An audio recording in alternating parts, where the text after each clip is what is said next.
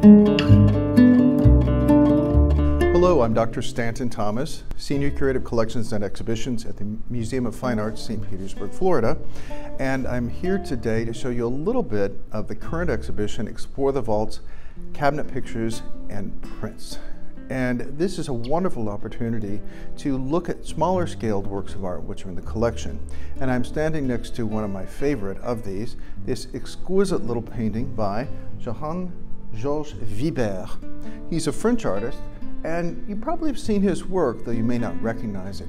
He's very famous for doing scenes of cardinals and monks and um, bishops feasting, and it was something that was very popular in the 19th century.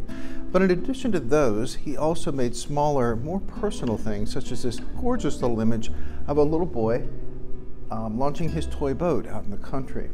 And one of the reasons I love it so much is when you get close to it, and that's one of the great joys of coming to see this exhibition, you can really get up and look at the details and the very loose, very painterly way that he's approached the subject matter. Although Vibert was an academic painter and he really liked crisp, precise images, he also loved the emerging, more progressive approach of the Impressionist artists. And that's one of the really beautiful things you can see here, this loose approach to paint. It's also a wonderful small, kind of dark painting that looks almost like a memory.